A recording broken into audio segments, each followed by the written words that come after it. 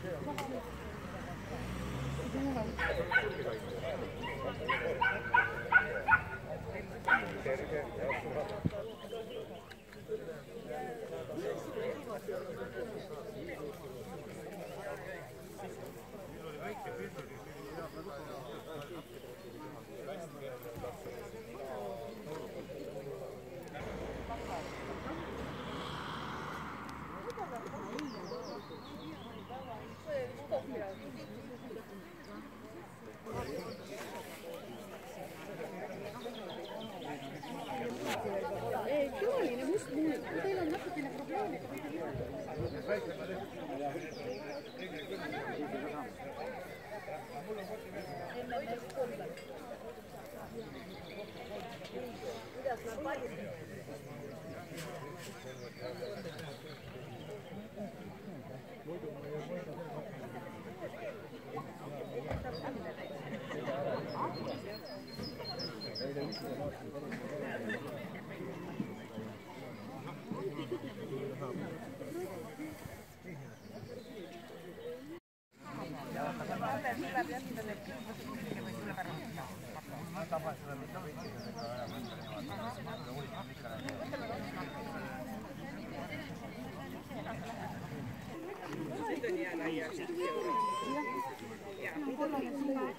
Selle kasti sees.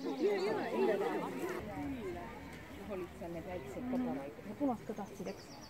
siia üle pidevalt.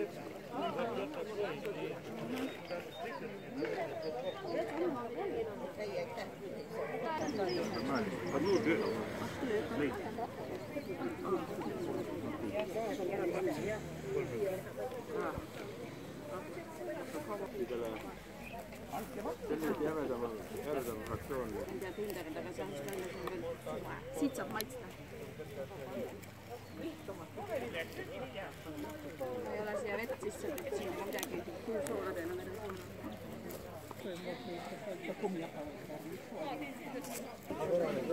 olin nüüd Marko, mis ma sain. midagi veel.